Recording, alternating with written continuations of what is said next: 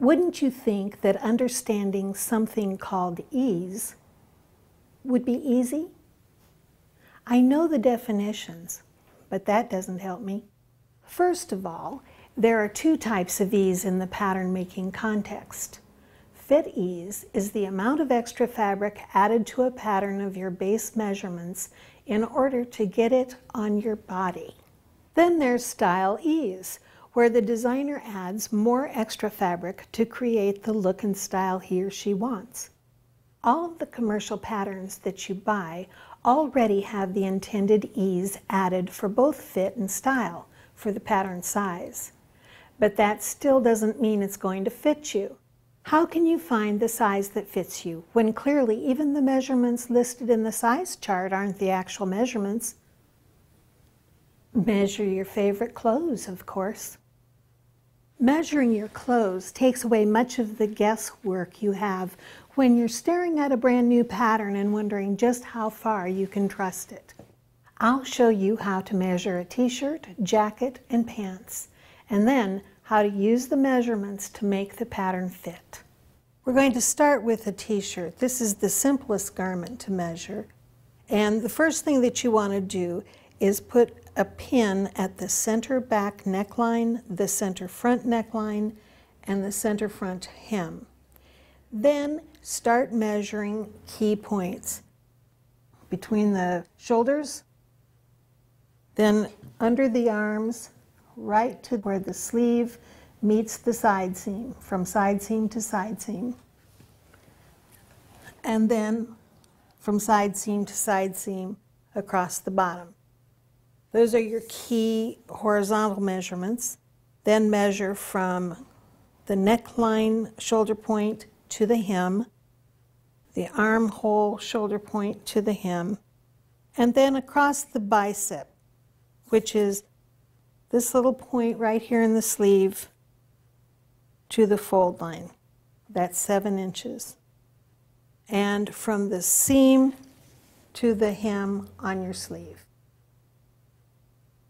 Before we move on, I'd like to also get some neck measurements. Place a ruler across these shoulder points here at the neckline so that you have a nice straight parallel line and measure from the ruler to the top of the center front neckline. You can also measure the back neckline and measure between these two neckline points. Now you have everything you need to reproduce the way this t-shirt fits. Measuring a jacket is very similar to measuring the t-shirt. You have the same key points, the shoulder points, the neckline, the hem, and the width. On a jacket, you can identify the center front by looking at the center of your buttons. They should run along the center front. On the back, you can just fold the side seams together and mark your center back using that as a reference. Then, just as you did on the t-shirt, measure from shoulder to shoulder, measure from armhole to armhole, measure under the arms, as you did before. You can measure at the waist and at the hem. Your other horizontal measurement is the biceps. And this is always a tricky measurement because you have this funny triangular shape here under the arm. But measure from the underarm point to the fold in the sleeve. Remember, that's the distance around the fullest part of your arm, and it'll be two times this amount. Then measure your vertical measurements. From this shoulder point to the hem, from the neckline shoulder point to the hem, from the center front neckline to the hem. And last, your sleeve length. Remember, this is to duplicate fit, not to duplicate style. So you're not getting things like the depth of your collar or the details. If you want to copy this pattern, you would measure all of those too. Now measuring your pants is going to be completely different from the other two tops, but there are still a few similarities. I've moved this leg completely apart so that we can really study one leg and I've folded it along the side seam and pressed everything smoothly so that there aren't any bubbles underneath. You'll notice that this is not on the inseam. The fold is beyond the inseam. Then let's take a measurement of the waistline. In this case, it's curved. So I curve my tape measure as I take the measurement. I also measure across the hip, just as a little bit of a guideline. Then measure from the waist, following the center seam around to the back. That is the crotch length. It's actually half of the crotch length. Then we want the crotch depth, which is from this point to the waistline. It's a different measurement.